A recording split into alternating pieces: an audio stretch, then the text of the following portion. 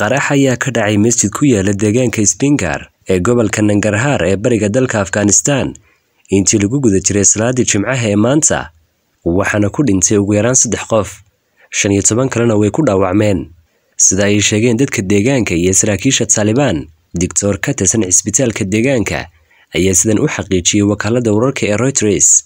Ilaa hadda ma jirto cid sheegatay mas'uuliyadda weerarkan dowladda islaamiga ah ee gobolka khorasaan oo xidhiir la leh kooxda hubaysan ee isis ayaa sheegatay mas'uuliyadda weerar dhiig badani ku daatay oo ka dhacay afghanistan tan iyo markii taalibaan ay xukunka dib ugu soo laabatay bishii agost ee sanadkan. Ugu yaraan sagaal iyo toban qof ayaa ku dhintay in ka badan konton kalena way ku dhaawacmeen. Weerar kooxdan ay ku qaadeen cisbitaal militari oo ku yaalla kaabul horraantii bishan aynu ku jirno ee nofembar in ka badan boqol iyo labaatan qof ayaa lagu dilay. Weerar ay mas'uuliyaddeeda sheegatay horraantii sanadkan ay ku qaadeen laba masjid oo ay caan ku yihiin qowmiyadda laga tirada badan yahay ee hazara. Cumar saadiq telefishanka c b a.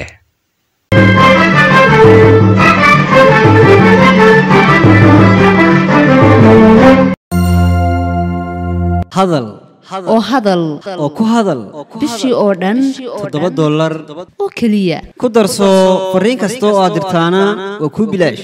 Isticmaal shabakadda ugu ballaadhan geeyiga somalilan haddaba si aad ugu shubato adeega kaafiye fadlan garaac xidig siddeed eber siddeed afargees ama xidig laba eber laba afargees tayo! Waa telesom